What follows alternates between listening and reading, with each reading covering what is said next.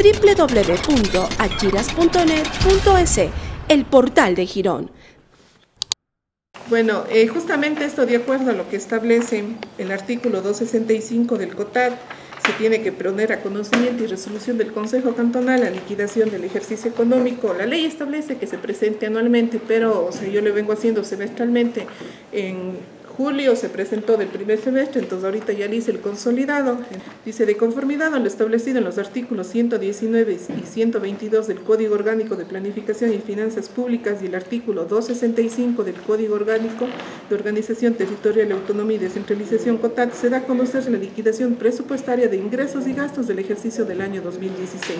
La norma contable establece que yo no puedo gastar más de lo que tengo. Entonces, yo en ingresos al 31 de diciembre de 2016, yo tengo una, el devengado o lo que me asegura lo que yo voy a tener es los 4.983.110,12. Lo que hemos gastado es 3.921.970,50. En el gasto corriente hemos planificado 1.217.475,27. Se ha cancelado 1.097.036,29. En producción, se eh, inicia, en lo que tenemos es 69.511,81 y lo que se ha devengado es los 39.566,62. Esto es producción que está categorizado lo que es la farmacia municipal. En gasto de inversión estaba planificado los 3.660.534,19, lo que se ha devengado es los 2.485.468,4. En gasto de capital es los 160.994 y se ha cancelado 73.982,85.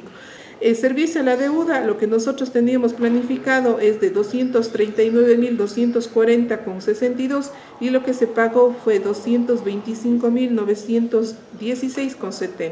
Representa de que el presupuesto total de los 5.347 nosotros hemos invertido en la parte de inversión el 73%. Entonces, creo que se ha cumplido de la, de la mejor manera que quiero agradecerles porque todo esto pasa por las decisiones desde el Consejo, que se va y se refleja también en las, diferentes jefaturas y direcciones eh, este resultado. Yo creo que con humildad se ha hecho lo que más se ha podido en base a una normativa que nos ajustamos y cuyo resultado tenemos yo diría que, que, es, no es el 73%, sino estamos alrededor del 78% de ejecución de obra, porque si bien es cierto, la ingeniería hace un cálculo sobre lo proyectado, pero lo ingresado es 4.983.370. Si ese ingreso le transferimos con los gastos, tenemos un 78% de ejecución.